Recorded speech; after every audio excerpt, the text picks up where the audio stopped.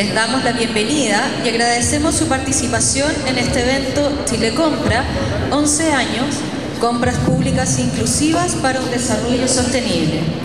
Saludamos especialmente a las autoridades que hoy nos acompañan, Contralor General de la República, señor Ramiro Mendoza, Subsecretario de Hacienda, señor Alejandro Mico, Subsecretaria de Economía, señora Katia Trusit, Subsecretaria de Evaluación Social, señora Heidi Werner, Subsecretario de Justicia, señor Marcelo Albornoz, Subsecretario de Telecomunicaciones, señor Pedro Huinchalá, Subsecretario de Bienes Nacionales, señor Jorge Maldonado, Presidente del Tribunal de Contratación Pública, señor Álvaro Arevalo, los jueces del Tribunal de Contratación, y un especial saludo a todas las autoridades, directivos de servicios y funcionarios del Estado, a representantes de gremios, empresarios y proveedores del mercado público que participan de este encuentro.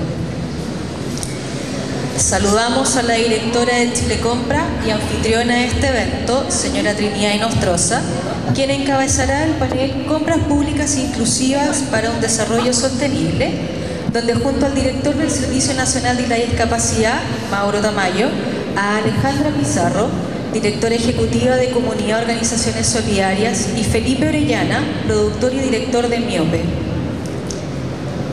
El sistema de compras del Estado representa el 3,5% del PIB nacional, con montos transados que alcanzan los 10 mil millones de dólares. Más de 117 mil proveedores participan ofreciendo bienes y servicios a 850 organismos públicos que realizan sus contrataciones a través del sistema. En el 2013 se sumaron más de 5.000 nuevos proveedores a este mercado.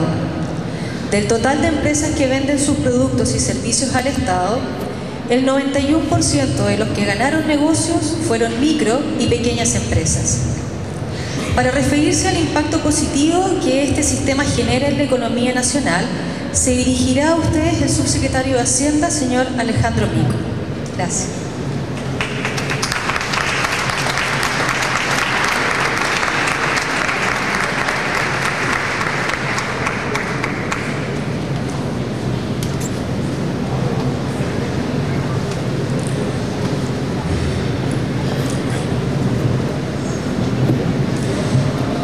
Antes que nada, agradecer a Trinidad Inostroza, la directora de, de este tan importante servicio del país, un servicio que diría nos debe enorgullecer como país.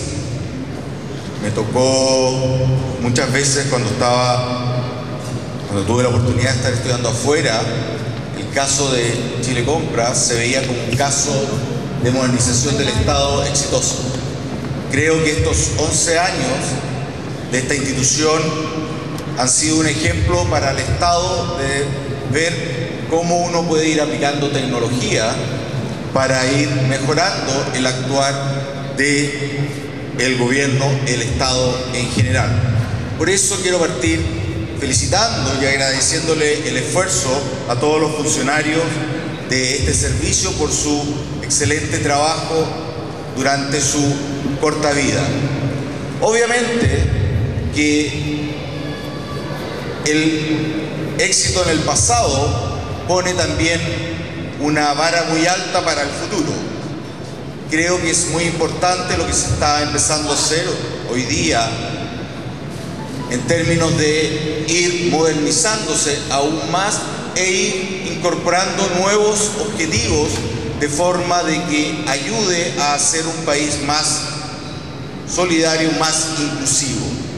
Creo que todo el tema de la inclusión que está planteándose en los nuevos programas y en los objetivos es fundamental y está muy en línea con lo que quiere hacer el actual gobierno en términos de generar un crecimiento, pero un crecimiento inclusive con todos y todas.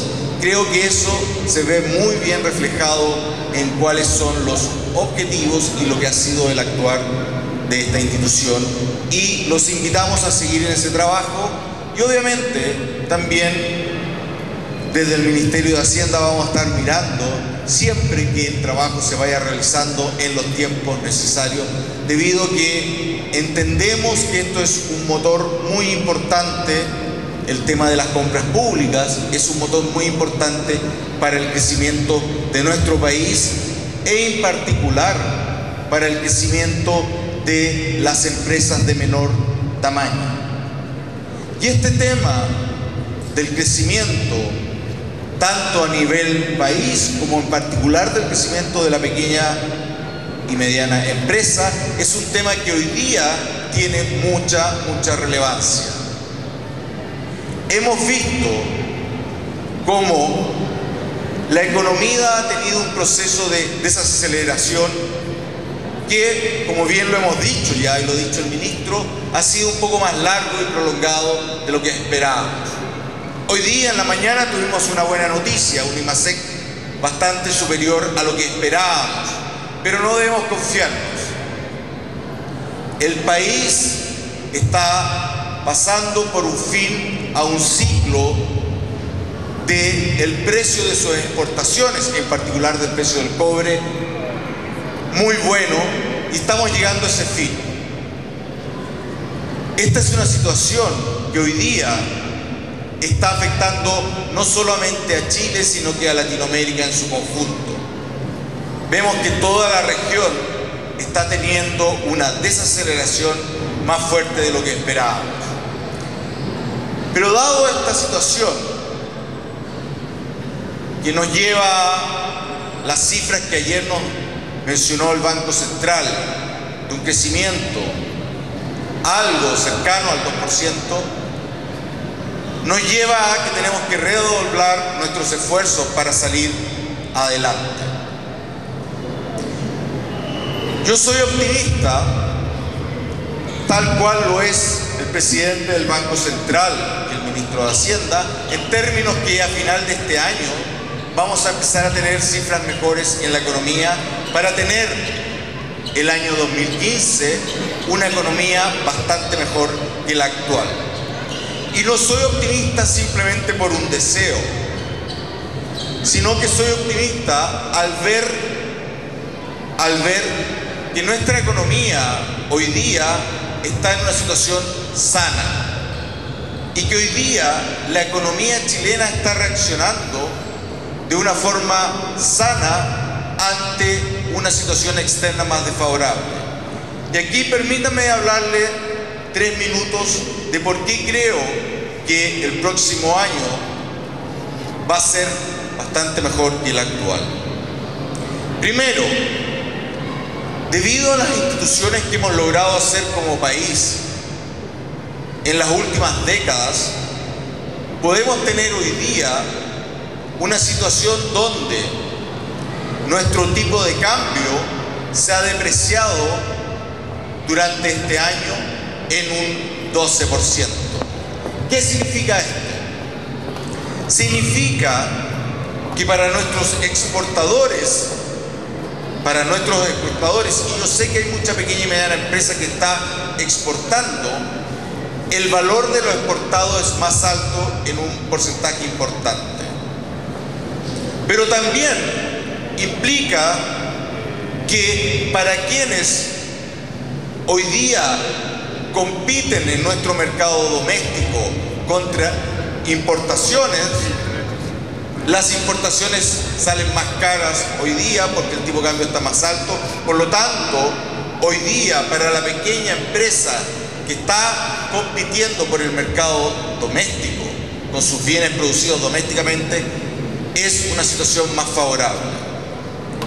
Este ajuste del tipo de cambio se puede hacer porque la economía se ha manejado en forma correcta durante las últimas décadas y en particular también durante estos seis meses. Por lo tanto, por ese lado tengo un, optimismo respecto al futuro. En segundo lugar, Además de que tenemos un tipo de cambio más depreciado que hace más competitiva la producción doméstica, tenemos que debido a que tenemos un banco central creíble, una política fiscal ordenada, en esta situación podemos hacer que las tasas de interés bajen.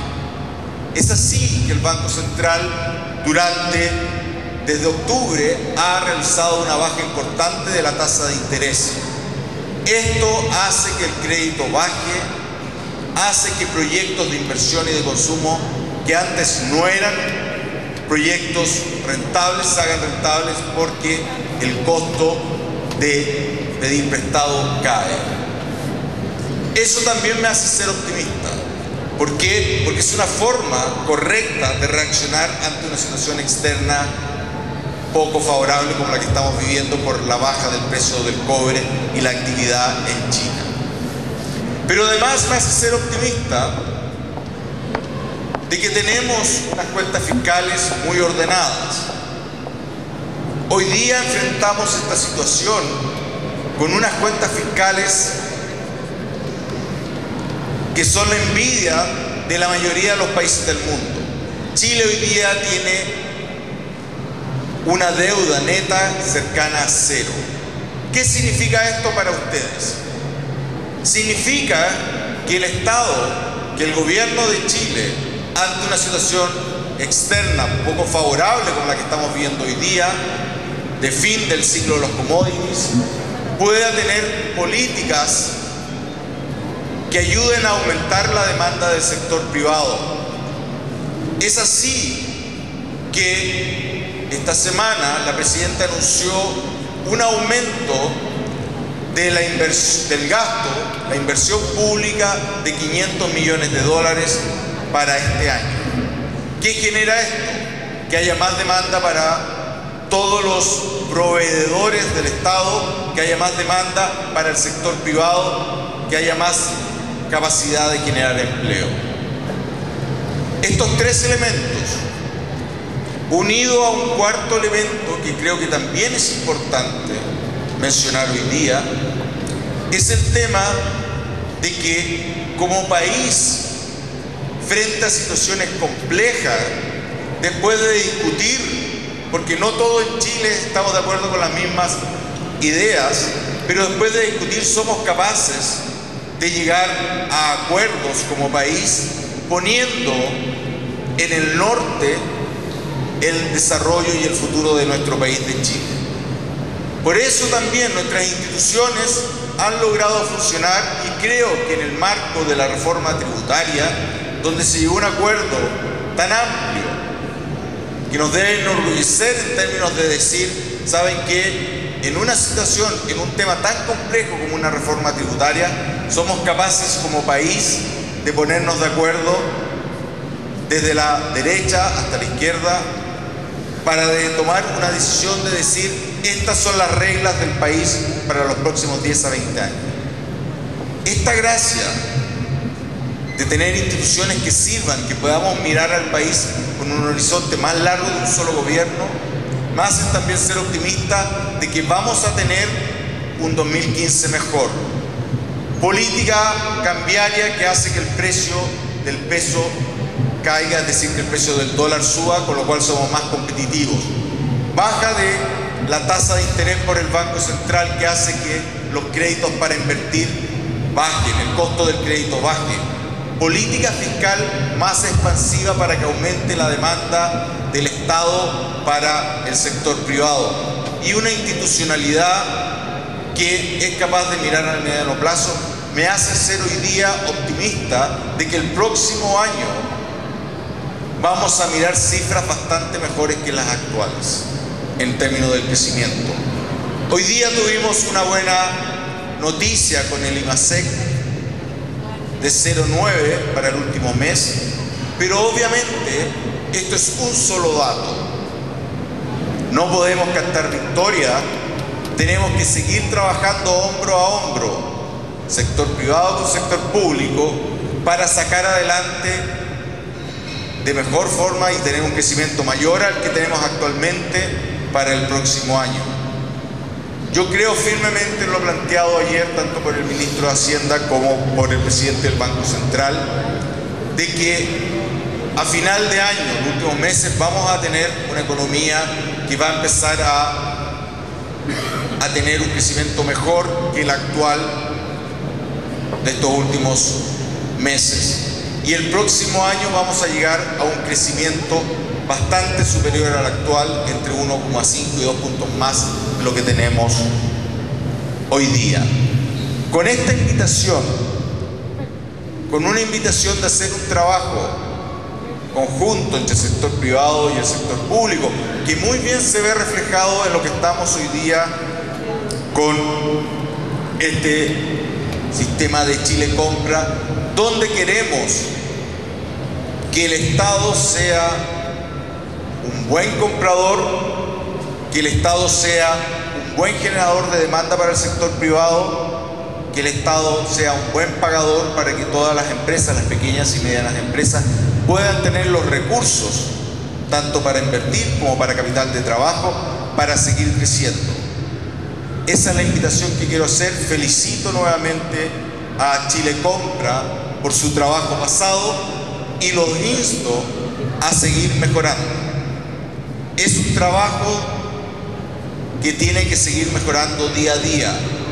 Es el mandato de Chile hacia su gobierno de hacer un gobierno eficiente y en eso estamos y eso lo queremos cumplir. Y hoy día quiero decirle a Trinidad y a todos los que están en Chile Compra, felicitaciones por su pasado y mucho esfuerzo para lo que viene en este trabajo, en esta modernización. Muchas gracias.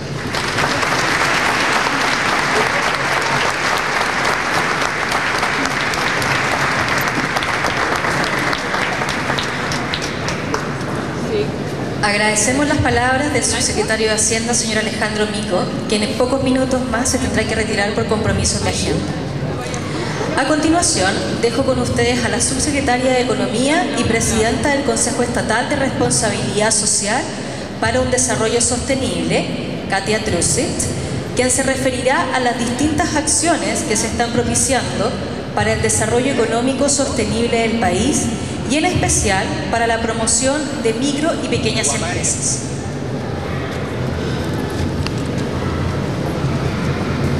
Muchas gracias, muy buenos días.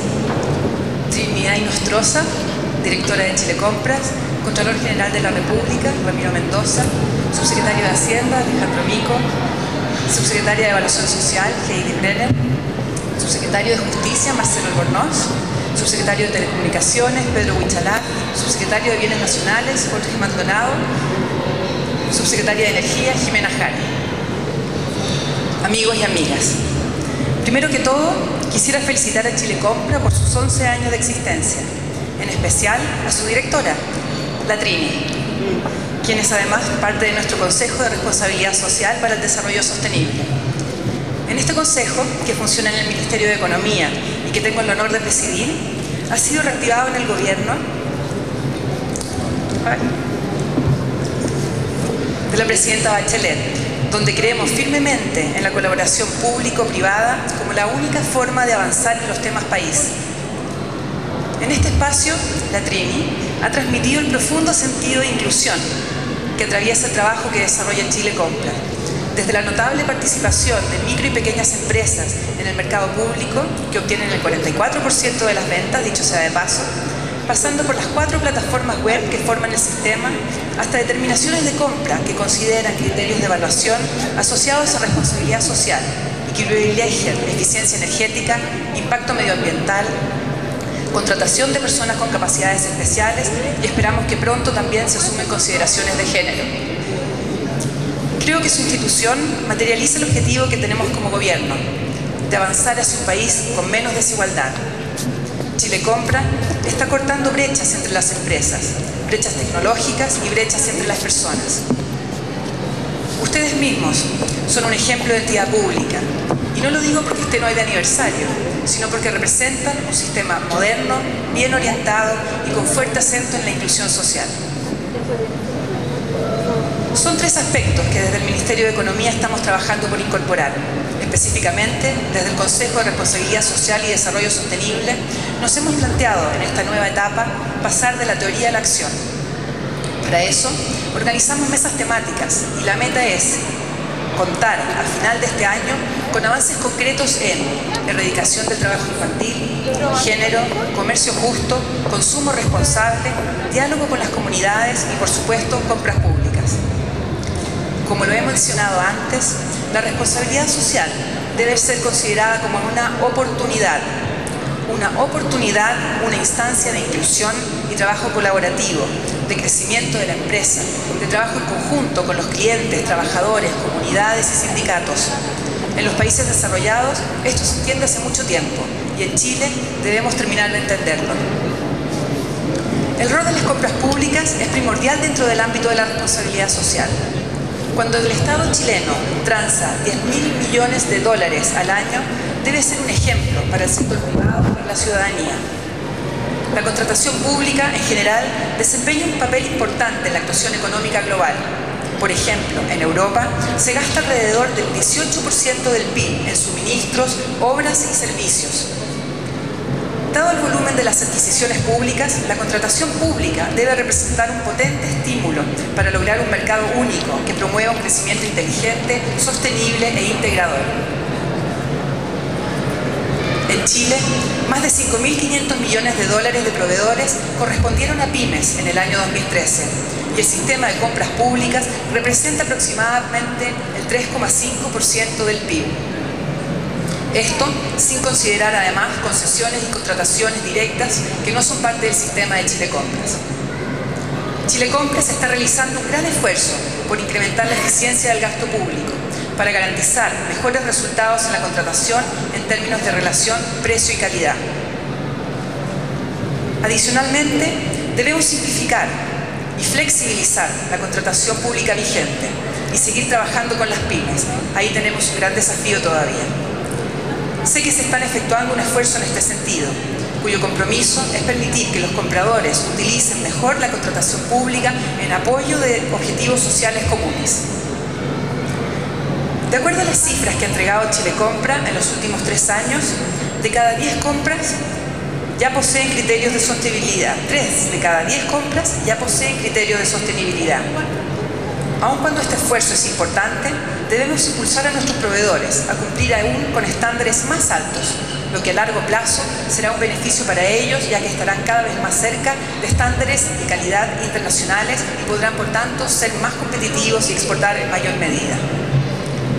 Para finalizar, los invito a comprometerse con la responsabilidad social y a premiar, por sobre todo, a los proveedores que cumplan con la igualdad de género en sus empresas así como otras de las consideraciones de inclusión que se están teniendo hoy en día en Chile Compra. Muchas gracias.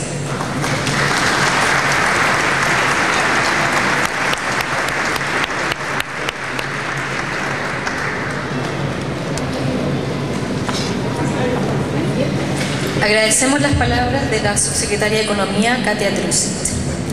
Durante la primera cuenta pública de su segundo mandato, la presidenta Michelle Bachelet recalcó el compromiso de su gobierno por instaurar una serie de políticas públicas que garanticen inclusión y un marco de protección social para todos los chilenos, especialmente aquellos que hoy están en situación de vulnerabilidad.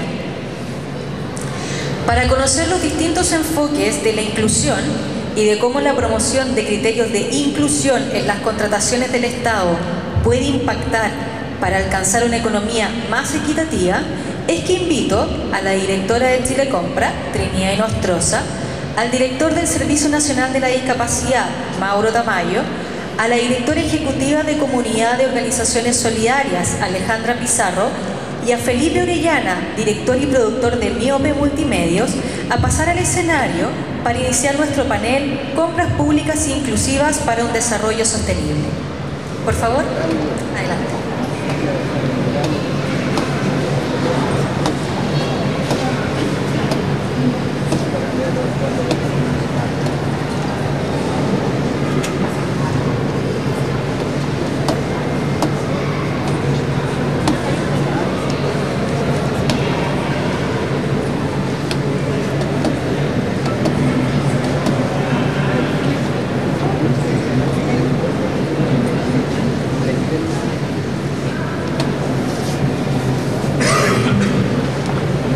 Antes de comenzar, queremos agradecer la presencia de la subsecretaria de Economía y del subsecretario de Hacienda, quienes, quienes por motivo de agenda tendrán que retirarse. Muchas gracias. Para comenzar este panel, dejo con ustedes a la directora de Chile Compra, Trinidad Inostroza, quien dará cuenta del estado del sistema de compras públicas y de la nueva política de inclusión de Chile Compra. Bien, eh, muy buenos días a todas y a todos, eh, estimado Contralor, eh, subsecretarios que nos acompañan, jefes de servicio, nuestros integrantes y jueces del Tribunal de Contratación Pública, dirigentes de asociaciones gremiales, integrantes de Fuerzas Armadas, bueno, compradores públicos y proveedores, amigas, amigos, eh, funcionarios también. Y tenemos, bueno, después los invitamos a una feria que tenemos de nuestros proveedores inclusivos para que todos los podamos visitar y agradecerles que nos acompañen en este nuestro undécimo aniversario.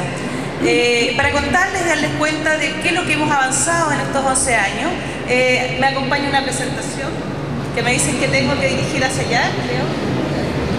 ¿Se escucha? Bien, bueno, Chile Compra cumple 11 años viendo el acceso, la participación de las empresas de menor tamaño, la transparencia y el ahorro. La verdad que estos fueron los pilares fundamentales que motivaron la creación del sistema de compras públicas. Están nuestros amigos de Paraguay también, que creo haber omitido. Nos acompaña una delegación y tenemos presente también al director de compras de Paraguay que nos está visitando por estos días y también que nos está compartiendo su experiencia, especialmente en lo que se refiere a la integración y cómo la contratación pública también en el caso de Paraguay ha permitido la participación de muchos pequeños agricultores. Así que un saludo, no sé, no los veo por acá. Paraguay está por ahí también. Bien, entonces estos tres grandes pilares que motivaron la creación de este sistema. ¿Y qué hemos logrado? Viéndolo en cifras. ¿Qué me dice? ¿Se escucha? Montos totales transados del orden de 60 mil millones de dólares. En todos estos años esto es lo que se ha transado a través del sistema de compras públicas. De este total transado, las ventas de la micro y de la pequeña empresa alcanzan más de 23 mil millones de dólares. Y evidentemente hemos tenido una gran apertura del mercado a miles de proveedores de todo el país. Esto ha permitido la participación de muchas nuevas empresas que hacen ir incorporando y sucesivamente se siguen incorporando a participar en las compras que efectúa el Estado. Ahorros en estos 11 años por más de 3.600 millones de dólares. Nosotros sacábamos la cuenta cuánto ha costado al Estado la creación de este sistema y desde el punto de vista presupuestario, desde el presupuesto de la Nación, al, Estado le ha costado 95 millones de dólares y le ha reportado a su vez solamente en ahorros 3.600 millones de dólares. O sea, si lo vemos solamente desde el punto de vista económico, que fue una de las motivaciones para la creación de este sistema, se explica por sí solo. Pero en cuanto a transparencia y en cuanto a la participación de la micro y pequeña empresa, ha, sin duda ha sido una gran contribución a la modernización de nuestro Estado. Cómo ha aumentado también la participación y cómo progresivamente eh, se han ido incorporando nuevas empresas.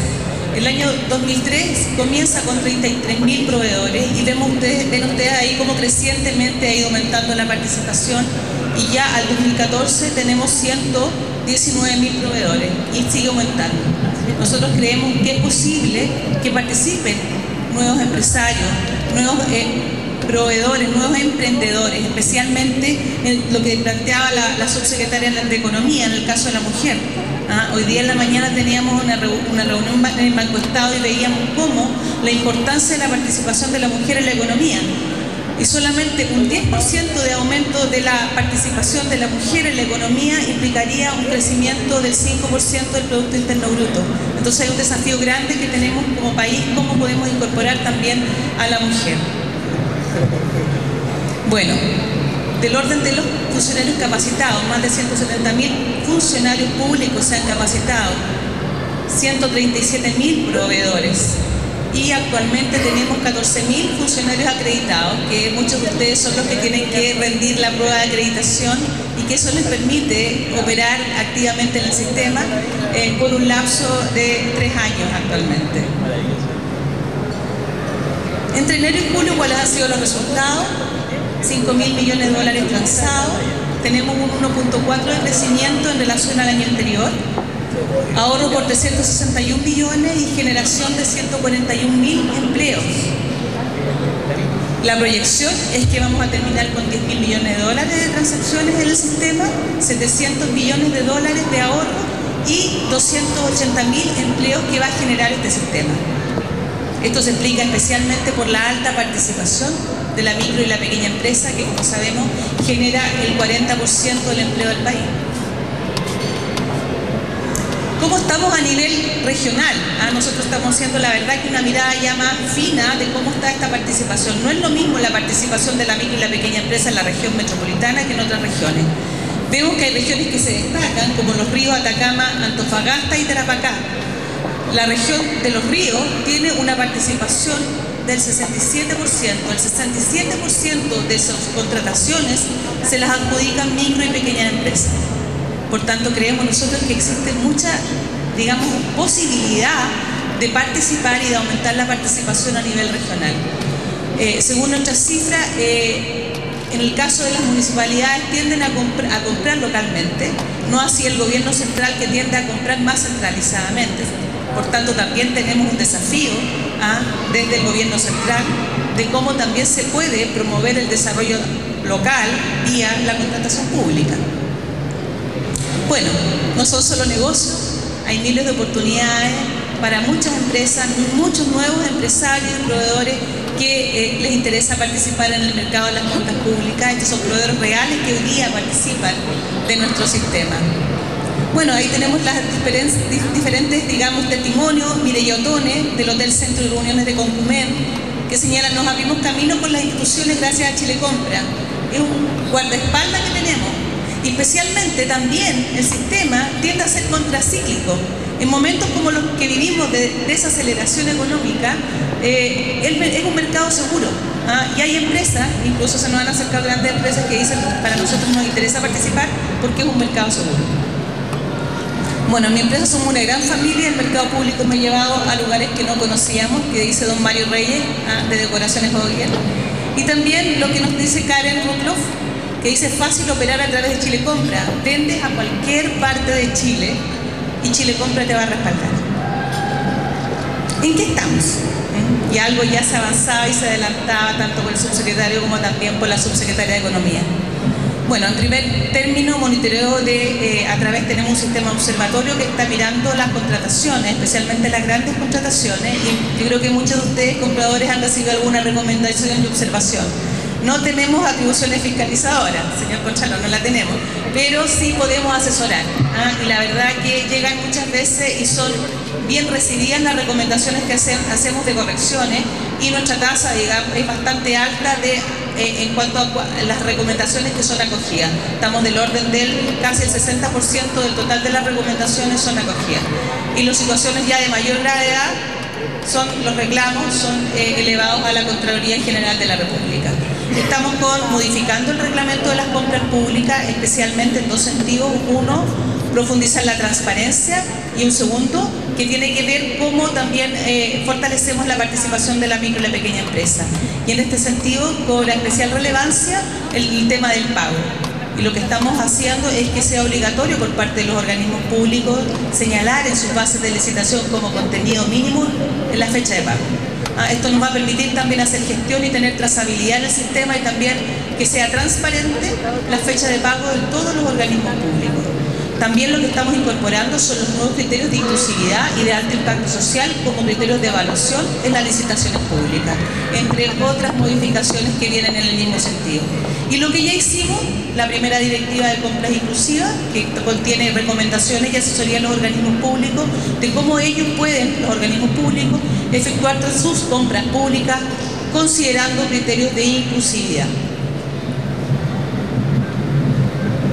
¿Cuáles serían estos? Por ejemplo, eficiencia energética, impacto medioambiental, condiciones de empleo y remuneración, que es muy relevante a la hora especialmente de la contratación de servicios.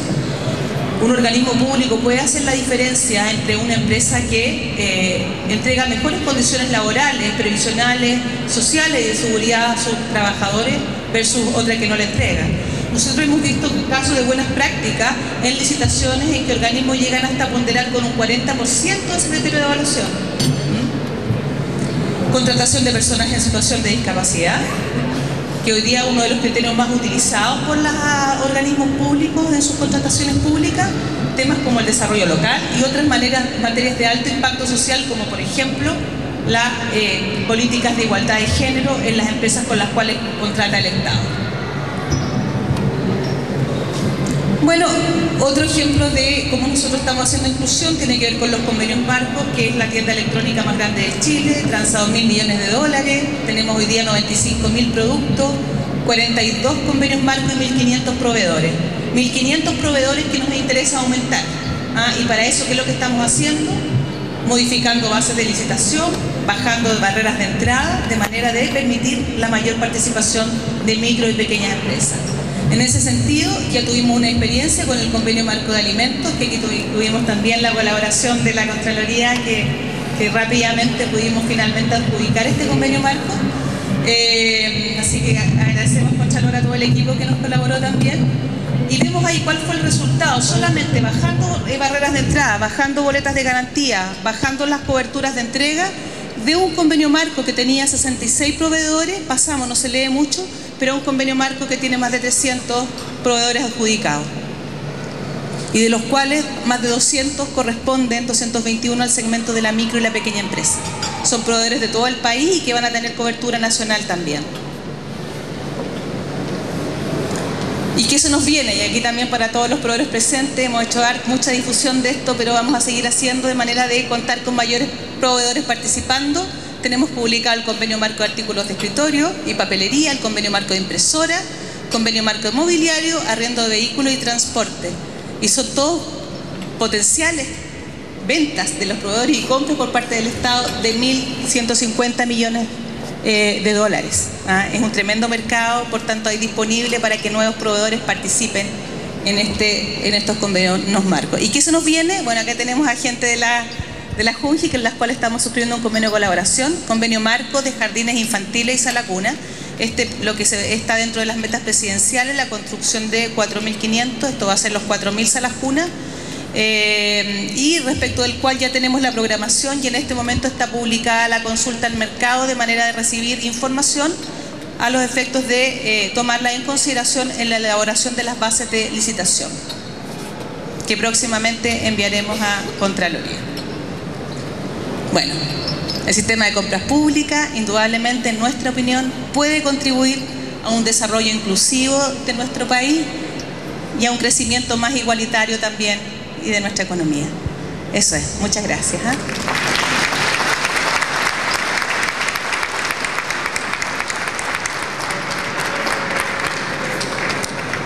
Agradecemos la presentación de la directora de Chile Compra. Invitamos al director de Senadis, Mauro Tamayo, quien se referirá a la importancia de las contrataciones del Estado como una forma de promover el derecho a la igualdad de oportunidades y obtener plena inclusión social. Con este, este no. ¿Se escucha? 1, 2, 3, 1, 2, 1, 2, 3, 4, 1, 2, 1, 2. Ahí sí, ¿se escucha? Sí, bueno, saludar a las autoridades presentes a Trinidad y Nostroza, por cierto, que nos convoca a estar acá, a los subsecretarios, a mi subsecretaria, eh, la señora Heidi Werner, que me acompaña, está Sergio Mendoza, intérprete de lengua de señas. Lo que ustedes ven a mi izquierda en este momento es una interpretación para que más personas puedan acceder a esta presentación, a este aniversario y a este lanzamiento. Por tanto, saludar a Sergio Mendoza, que nos está interpretando.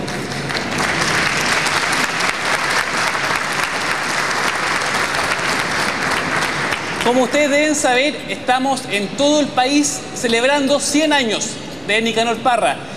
Y ahí quiero compartir muy brevemente, robarme un trozo de mi presentación. Sé que tengo solo 10 minutos y trataré de ser responsable con eso. Pero ustedes han escuchado, me imagino, el hombre imaginario, ¿sí? Muy breve el hombre imaginario, a los que no lo han escuchado, se lo quiero transmitir, vive en una mansión imaginaria, rodeada de árboles imaginarios, a la orilla de un río imaginario. De los muros que son imaginarios penden antiguos cuadros imaginarios, irreparables grietas imaginarias que representan hechos imaginarios, ocurridos en mundos imaginarios en lugares y tiempos imaginarios. Todas las tardes, tardes imaginarias, sube las escaleras imaginarias y se asoma al balcón imaginario a mirar el paisaje imaginario que consiste en un valle imaginario circundado de cerros imaginarios. Es un hombre imaginario buscando el amor de una mujer imaginaria. Y a pesar de ser en el mundo de las ideas, del mundo imaginario, es un mundo inaccesible. Un mundo que, a pesar de poder imaginarlo, entrega escaleras, entrega barreras y impide el pleno goce de derechos e impide la participación en el ámbito laboral, en el ámbito recreativo, en el ámbito educacional. Tenemos una sociedad que construye barreras, que llena de escaleras, que llena de trabas, que impide que cada persona, independiente de su origen o de su situación de discapacidad, pueda disfrutar, al igual que todos, de una vida plena y digna. No es más, no es menos, no es un favor, es un derecho, un derecho humano. Esta presentación tiene que ver con lo que hemos hecho con Chile Compra. Estamos felices porque efectivamente en la medida que todos los actores públicos y privados, como el subsecretario Huichalaf, que cuando está pensando en ciudad inteligente, una ciudad donde todos cabemos, también es accesible e inclusiva. Y hemos sido convocados y estamos participando. O cuando Evaluación Social está pensando cómo vamos a excluir a los altos ingresos de un sistema de protección social, discapacidad aparece como una variable. Y en nuestro país no es un grupo menor. Son más de 2 millones de personas que hoy día viven en situación de discapacidad, donde alrededor de un tercio de ellas, con 29%, tienen un trabajo remunerado. Muy pocas personas en situación de discapacidad logran egresar de educación superior, solo un 2.66% universidades, institutos técnicos, profesionales. Hay muchas barreras, como les señalaba. Solo un 0.5% de toda la planilla laboral son personas en situación de discapacidad, un 0.5%. Y vemos cómo las barreras y los sitios web no son accesibles. Necesitamos como país avanzar en el tránsito de un sistema excluyente, segregante, a un sistema inclusivo. No hablar de integración, no hablar de cómo incorporamos en un espacio a personas en situación de discapacidad, sino que sean respetados y valorados como un par. Y nosotros desde Senadí hemos tensionado un debate. Queremos abandonar la discusión de personas con discapacidad porque no creemos que sea una condición de las personas, una característica propia, sino que es una situación que aparece cuando nosotros generamos un contexto, actitudes, barreras que impiden que cada persona pueda gozar de los mismos derechos que el resto. Y que creemos que para avanzar en igualdad de oportunidades y también avanzar en igualdad de resultados de las políticas públicas, conseguir mayor inclusión social, velar por el derecho de cada uno de nosotros, aumentar la participación y el diálogo social, tenemos que comprometernos con hacer espacios accesibles e inclusivos.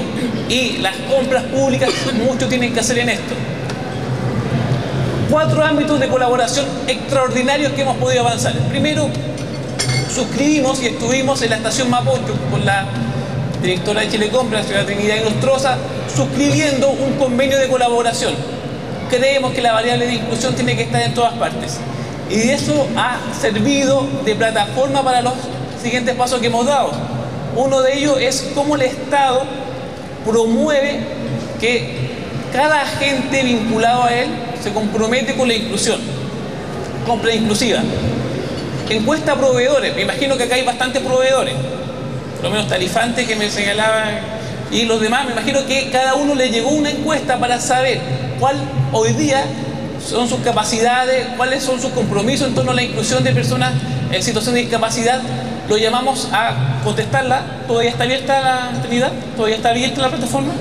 Sí, si no lo han hecho, por favor, contesten esa encuesta que es muy importante para nosotros, para tener información y poder apoyar desde el Senado y desde el Estado a cada proveedor y cada comprador. ¿Cómo estamos mirando la inclusión de personas en situación de discapacidad? Y también el sello Chile Inclusivo, reconocimientos que como Senadi entregamos a instituciones que se la están jugando día a día por la inclusión, del ámbito público o del ámbito privado. en el ámbito de inclusión laboral, de accesibilidad, están trabajando por incorporar a personas en situación de discapacidad, pero también por tener entornos para todos, página web accesible. ¿Cuáles son los beneficios que encontramos de la inclusión? Inclusión laboral, accesibilidad en entorno y accesibilidad web. La SOFOFA, eh, con su encargado de discapacidad, que es Víctor Dañino, ellos dan cuenta en sus estudios, no es que seamos nosotros, que la inclusión laboral de personas en situación de discapacidad no provoca pérdida de utilidades, no provoca pérdida en imagen, al revés, aumenta la competitividad. Un trabajador en situación de discapacidad que logra incorporarse al mercado laboral no está dispuesto a perder su trabajo, con todo lo que costó conseguirlo. Por tanto, son trabajadores que solo entregan riqueza, ayudan de forma significativa a mejorar los climas laborales y hacerla más competitiva. En torno al sello Chile Inclusivo, este reconocimiento lo estamos entregando y hoy día si ustedes visitan sellochileinclusivo.cl o senadis.gov.cl, nuestra página web, pueden acceder a la plataforma, conocer de qué se trata y poder participar, ser reconocido y ese reconocimiento, a nuestro juicio, debiese a mediano plazo tener también una ponderación adicional por parte de los requerimientos que hacemos como Estado y así premiar e incentivar que cada día seamos más accesibles e inclusivos. Diferenciamos también, no es lo mismo una MIPYME que una gran empresa. Hemos establecido variables y criterios diferenciados para tratarnos de forma distinta y así permitir que la vidriería de don José Muñoz en la comuna de Cerro Navia, Mapuche con Huelén, que quiera participar, tenga posibilidades y no solamente esté pensado para los grandes bancos y las grandes instituciones. Lo mismo, y con esto termino. Creemos, quienes estamos convencidos, estoy seguro que todos los que estamos y todas los que estamos acá estamos convencidos de que en nuestro país no sobra a nadie, que todos cabemos, quienes tenemos este convencimiento tenemos que hacer más de lo que hicimos ayer por incluir. Tenemos que hacer lo que hoy día no estamos haciendo. Nos queda el mañana. Y el mañana tiene que ser inclusivo, porque este es el Chile de todos y de todas. Eso es todo. Muchas gracias.